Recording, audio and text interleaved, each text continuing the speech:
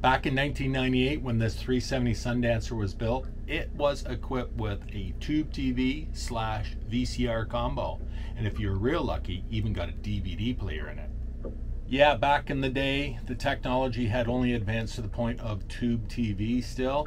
And since they were so big and they took up a lot of space, the most that you would have got on this boat at least was a 13 inch tube TV because that's all that fit in this space. Now you can see somebody has altered this and put in this flat screen TV.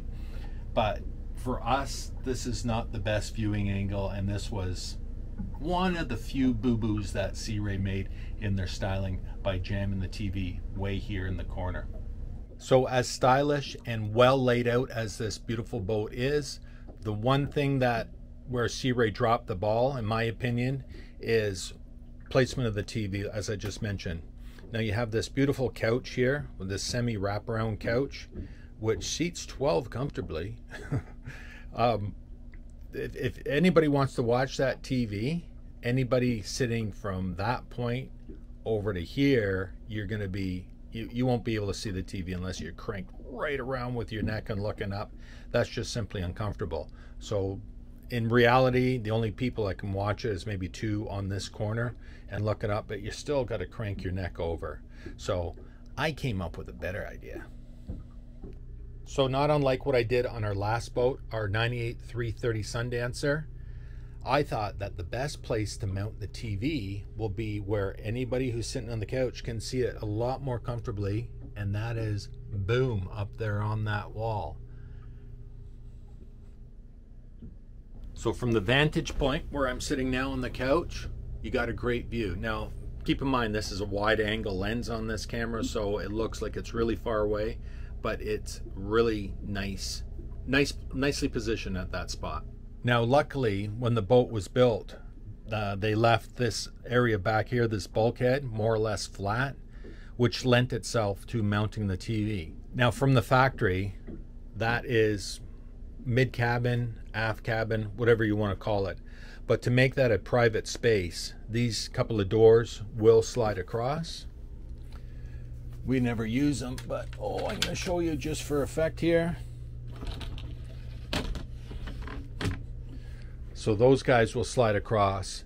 And then there's a curtain as well that goes in a track across and around there. Clearly, we don't have the curtain because it would be rare that anybody sleeps back there. And if it is, it'll just be uh, our grandkids, maybe for a night. Who knows? So, to make it more open looking, we decided to just take that curtain down altogether, not put it back up. And then the TV centered in that space works brilliantly. So, before I say too much, that's this isn't even actually a TV. It is a smart monitor, and I'll get back to that in a second. Now, how come you can't see any wires? Where's the magic in this? Well, there are wires, of course. I needed one wire only, and that is a power supply. So that is clearly coming off the back of the TV. This is a pivoting mount. So there's the power supply, and I had to drill one hole through the wall, through the bulkhead. Well, actually, I had to drill a few because this is through bolted, this mount just so we don't lose it on a wavy, rocky day. So that goes out through the wall underneath the helm and back into here.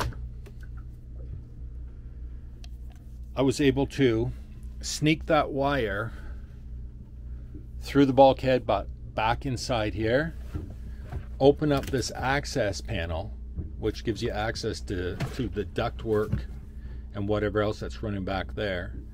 And then fish the wire down, drilled a hole through this bulkhead, and walk around here and brought it out to here, the plug-in part.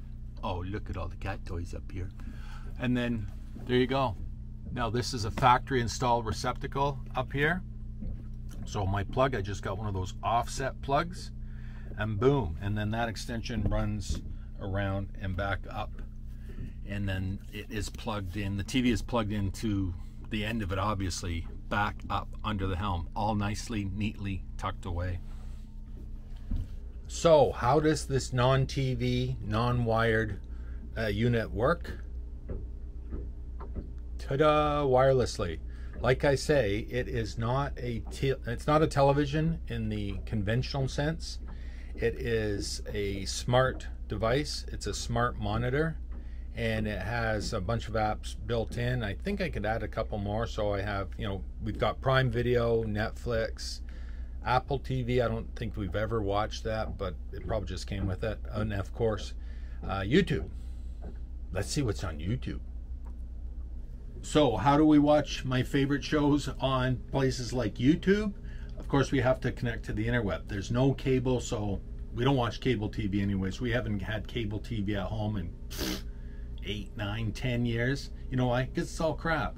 Too many commercials, too much crap. So we watch only streaming, YouTube, of course, uh, Netflix, and so on and so forth, like that. So there's enough variety on there for us to watch. But how do we connect to that? We have to connect to the interwebs, either through a local Wi Fi, which we never use, never, never use. I don't trust public Wi Fi. And so everything comes through creating a hotspot on my phone. And then we have access to the internet as well as a secure access to the internet so we can watch stuff like this boating videos on YouTube. Oh man, it feels just like I'm on the boat when I watch this. Oh, look at that beautiful Sundancer splashing through the summer waves. Oh no, not this guy. yeah, so that's how we watch TV without a TV. And it works awesome. Works great for us. I know a lot of you guys are going to say, oh man, Paul, like you're using a lot of data on your phone. Yes, we are, but that's okay. I feel a lot more secure using doing it that way. So yeah, that's how we watch TV on the boat without even having a TV. All streaming through the interwebs, don't have to worry about cable, don't have to worry about relying on uh, public Wi-Fi, especially when we're out and about or spending a night at a lock or wherever we are in a remote location.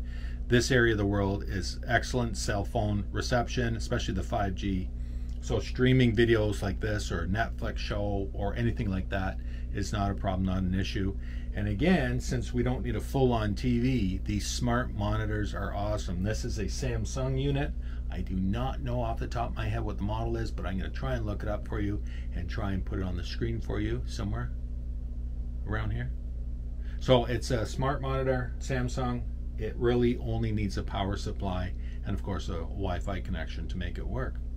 Love it. If I wanted to, I could even uh, beam my laptop up here if I was doing some editing of videos. Just saying. So anyways, that's it. That's uh, a good solution and a good spot, in my opinion. Here, let me just swing this around again. Now, wouldn't you agree that having that up there is in a much better position than having it behind us? Yeah, it works good.